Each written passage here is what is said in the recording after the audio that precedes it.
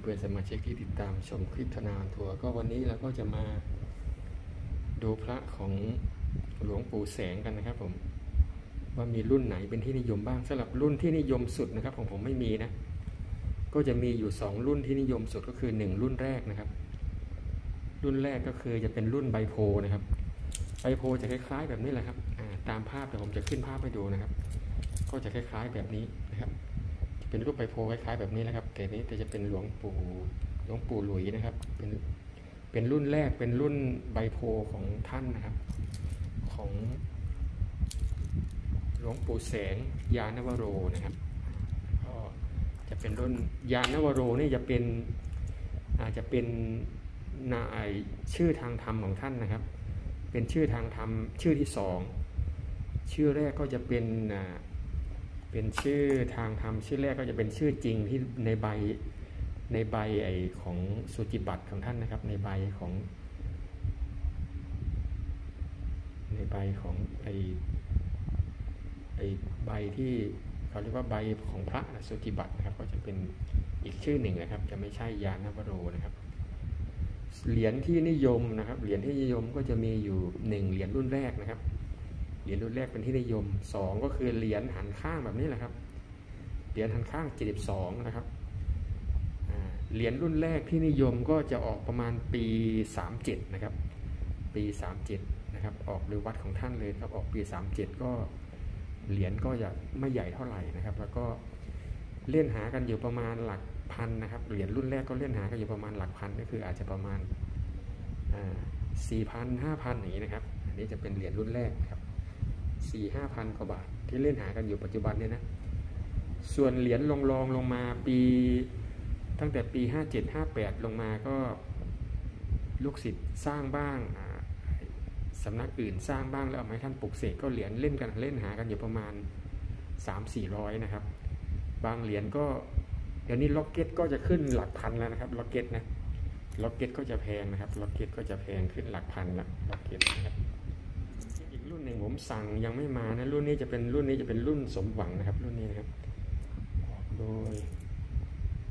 เป็นรุ่นล็อกเก็ตรุ่นสมหวังวัด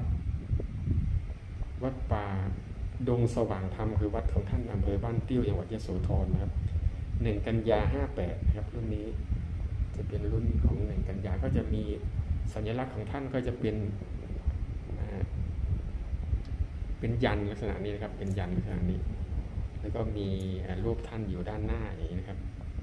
ก็มีชื่อไว้ ก็จะมีหลายรูปแบบนะครับ บางล็อกเก็ตบางรุ่นก็จะมีพวกตะกรุดพวกอะไรอยู่ด้านหลังด้วยนะครับ มีตะกรุดมีอะไรอยู่ด้านหลัง ก็ซื้อหากันเล่นกันอยู่ที่เดี๋ยวนี้ก็600กว่าบาท800กว่าบาทพันกว่าบาทอย่างนี้นะครับล็อกเก็ตมีหลายรุ่นหลายแบบนะครับ ของท่านนี่ก็ รุ่นที่ผมถูกเลขก็จะเป็นอีกรุ่นร้อยร้อยหนึ่งปีนะครับ รุ่นนั้น ซึ่งผมได้มาแล้วผมก็ไปตีเป็นเลข ไม่ใช่ไปตีหรอกก็คือหมายความว่าเห็นมันมีหนึ่งสองตัวนะครับ มีมีหนึ่งศูนย์หนึ่งก็ตีเป็นศูนย์หนึ่งหนึ่งศูนย์หนึ่งสองอะไรเงี้ยก็พอดีหนึ่งสองสองหนึ่งหนึ่งหนึ่งเงี้ยไอ้งวดเมื่อกี้นะผมก็ได้เล็กๆน้อยๆค่าน้ำมันค่าอะไรเฉยๆนะครับ เพราะว่าไม่ไม่ได้จับสามตัวใส่ของผมก็ก็ถือว่าเป็นโชคเล็กๆน้อยๆนะครับ ก็มาบอกเล่า 90 กันฟังนะครับ ส่วนพระผงของท่านก็มีเยอะนะครับ พระผงก็มีหลายลูกศิษย์หลายคนหลายรายที่สร้างขึ้นมานะครับ พระผงก็เล่นหากันอยู่นะครับโดยมากช่วงนี้ของปลอมก็ยังไม่ค่อยมีเท่าไหร่นะครับ แต่สำคัญรุ่นแรกนะครับ รุ่นแรกผมเริ่มพูดไปว่ารุ่นแรกนะครับจะมีอยู่ 3 วาระนะวาระที่ 1 วาระที่ 2 วาระที่ 3 ต้องดูก่อนว่าเหรียญที่เราได้มานะเป็นเป็นรุ่นแรกก็จริง แต่ว่ามันจะมีตำหนิให้ดูอยู่เป็นวาระที่หนึ่งที่สองที่สามอะไรเงี้ยครับเราก็ต้องดูด้วยว่าโดยมากเขาจะเน้นไปจัดสร้างวาระแรกก็คือวาระที่หนึ่งนะครับจะเน้นเช่าหากันส่วนวาระที่สามก็จะถูกลงมาหน่อยนะครับสี่พันกว่าบาทสามพันกว่าบาทสี่พันกว่าอย่างเงี้ยครับแต่ถ้าเป็นเหรียญเดิมๆเก่าๆหน่อยหนึ่งเป็นวาระแรกนะครับ แต่ถ้าเป็นเหรียญใหม่ๆเนี่ยบางทีก็อาจจะเป็นวันละหลังมาแล้วนะครับ แต่เป็นรุ่นแรกเหมือนกัน แต่เป็นรุ่นแรกนะครับนี่ก็จะเป็นพระผงของท่านนะครับ สวยงามนะครับพระผงก็องค์หนึ่งก็สามสี่ร้อยนะครับ ไม่แพงนะ เพราะว่าบุญบารมีท่านใครเก็บสะสมไว้ก็อาจจะทำให้เรามีโชค มีลาภก็ได้นึกถึงคุณงามความดีนะครับอะไรประมาณนี้นะครับแล้วก็สะสมสำหรับคนที่ ล่นหาพระเครื่องเล่นสะสมพระต่างๆ หลวงของอันนี้ก็จะเป็นตัวอย่างของพระหลวงปู่แสง ซึ่งมีเป็นร้อยๆรุ่นนะครับ ของผมก็มีนิดเดียวนะมีก็เอามาให้ดูกันเฉยๆนะครับ ของแต่ละรุ่นว่าราคาเท่าไหร่ในท้องตลาดมีราคาเท่าไหร่อะไรอย่างนี้ ปัจจุบันซื้อหากันหลักเท่าไหร่อะไรอย่างนี้ครับ ก็จะมีอยู่ของผมก็จะทยอยมาเรื่อยๆนะครับ ก็ทยอยมาอันนี้จะเป็นรุ่นหันข้างปี 61 นะครับ รุ่นหันข้างปี 61 ราคาก็เดี๋ยวนี้ก็พุ่งมาที่ 800 900พันกว่าบาทนะครับรุ่นนี้เหรียญนี้นะครับเหรียญนี้ก็หลักพันแล้วครับ ตอนนี้นะถึงแม้ว่าจะเป็นปี 61 ก็จริงแต่ว่าก็ยังแพงอยู่นะครับ อันนี้จะเป็นเหรียญของวัดโดยตรงเหรียญปี 61 นะครับนี่ส่วนไอรุ่นนี้นะครับเหรียญรุ่นหันข้างจะเป็นเหรียญที่ ทำออกมาคล้ายกับรุ่น 72 นะครับ รุ่น 72 ก็จะทำคล้ายกับรุ่นฉลองอายุ 72 ปีนะครับอ่าอะไรประมาณนี้หรือเปล่าแล้วก็จะมีรุ่นฉลองอายุ 77 ปี แต่เหรียญนี้ก็ทำเมื่อท่านอายุประมาณเกือบร้อยแล้วครับเกือบร้อยปีแล้วเหรียญนี้ก็คือ ก็คือจะเน้นคล้ายๆกับเหรียญของหลวงปู่ฟั่นอาจารูนะครับ ก็คือเหมือนกับว่ารูปทรงเหรียญก็จะเหมือนกัน เหรียญนี้จะเป็นเนื้ออันปาก้านะครับเนื้ออันปาก้า รูปทรงก็จะเหมือนกับเหรียญของหลวงปู่ฟั่นนั่นเองเหรียญรุ่นแรกหลวงปู่ฟั่นรุ่นสองหลวงปู่ฟั่นนะครับ ก็จะทำคล้ายกันเพราะว่าหลวงปู่แสงท่านก็เป็นพระสายอวิปัสสนากรรมฐานสายวัดป่านะครับ สายวัดป่า อะไรอย่างนี้สายหลวงปู่มั่นก็เพราะนั้นเวลาทำเหรียญก็อาจจะออกมาทำคล้ายกัน อาจจะเป็นรูปรูปไข่หันข้างอย่างนี้นะครับเหรียญไข่หันข้างหรือว่าเหรียญรูปใบโพอย่างนี้นะครับ นนี้ก็ถ้าเป็นเหรียญรุ่นนี้ก็หลักพันแล้วครับเดี๋ยวนี้นะแซงเข้าไปเป็นหลักพันแล้วครับ แต่ถ้าเป็นรุ่น 72 นะ รุ่น 72 ก็ 20,000 ก็มีนะครับ แพงกว่ารุ่นแรกไอไอเหรียญรุ่นนี้เนี่ยแต่สวยครับ แต่แพงกว่ารุ่นแรก ขึ้นหลักหมื่นหลักสองหมื่นไปแล้วไอรุ่นไอรุ่น 72 นะครับรุ่น 72 ปี รุ่นนั้นนะครับ เหรียญหันข้างก็72 ปี แต่ถ้าเป็นรุ่น 77 ปีก็ อยู่ที่ 3,000 กว่าบาทนะครับเหรียญเนี่ยก็คือแสดงก็คือที่นิยมเล่นหากันคือหนึ่งก็คือรุ่นแรกแล้วก็เหรียญรุ่นหันข้างนั่นเองนะครับ แต่ที่มีราคาสุดก็จะเป็นเหรียญหันข้างรุ่นนี้แหละครับ ของหลวงปู่แสงครับ แล้วก็ที่ณเวลานี้ก็คือเหรียญกระแสนิยมตามข่าวก็จะเป็นเหรียญแจกทานเหรียญแจกนักข่าวนะครับเหรียญแจกทานเหรียญแจกนักข่าวก็ มีคนเล่นหากันอยู่เหรียญหนึ่งก็สี่ห้าร้อยนะครับห้าหกร้อยนะครับสำหรับเหรียญรุ่นนั้น ราคายังไม่แรงเท่าไหร่นะครับ ก็ยังถือว่าพอหาได้อยู่นะครับสำหรับเหรียญของหลวงปู่แสงยานนวโรนะครับ ซึ่งเป็นนามที่สองของท่านนะในอันนี้ผมก็ดูตามนี่ครับดูตามมานี่แหละของท่านแต่อีกเหรียญรุ่นหนึ่งล็อกเก็ตจะเป็นของนามเดิมท่านนะครับ จะเป็น จะเป็นนามเดิมท่านอยู่นะครับ อันนี้จะเป็นนามใหม่ของท่านนามใหม่ อันนี้ก็จะเป็น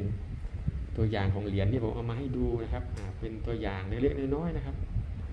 ของผมเพิ่งสั่งมานะครับ แต่ที่สำคัญผมสั่งไปผมเจอเจอโจรสามร้อยไม่ใช่โจรห้าร้อยนะโจรสามร้อยนะครับ โจรสามร้อยเหรียญราคาพันกว่าบาทของเหรียญหลวงปู่แสงนะครับเหรียญห้าเหลี่ยมของหลวงปู่แสงปี ปี ปีห้าไอปี ปีห้ากว่านี่แหละครับ น่าจะเป็นปีห้ากว่ากว่านี่แหละเอามาทางเว็บไซต์เอามาทางเฟซเฟซบุ๊กนะครับ ขายทางเฟซขายในสายวัดป่าอีสานด้วยนะนะครับ ก็ต้องระวังนะครับ อาจจะเจอแก๊งมิจฉาชีพนะครับโจรฮะโจรสามร้อยเพราะว่าอะไรเพราะว่าผมขายผมเดือนละสามร้อยให้เช่าให้ผมเดือนละสามร้อยแต่ไม่ส่งของนี่ครับ โอนไปสามร้อยเราคิดว่าเงินนิดเดียวเราก็โอนไปใช่ไหมครับ ที่ไหนได้มันหลายคนเจอ เอาสักสิบคนโอนเนี่ยมันก็ได้สามพันแล้วนะใช่ไหมล่ะครับ ก็ได้สามพันแล้วลักษณะนั้นนะครับ เพราะฉะนั้นเนี่ยต้องระวังบางทีก็เวลาจะซื้อของออนไลน์ซื้ออะไรที่เราไม่รู้จักหน้าค่าตากันก็นี่แหละต้องโอนเงินอยู่ที่ขนส่งดีกว่านะครับ ผมแนะนำอย่างนี้นะครับ ไม่งั้นก็เจอแบบผมนี่แหละนะครับ เจอแก๊งเจอโจรสามร้อยได้นะครับ เจอโจรสามร้อยได้เช่นเดียวกันเพราะนั้นนะเหรียญราคาสามร้อยก็เจอแก๊งมิจฉาชีพฟันเราไปเลยนะครับลักษณะนั้นต้องระวังนะครับ อย่าโอนก่อน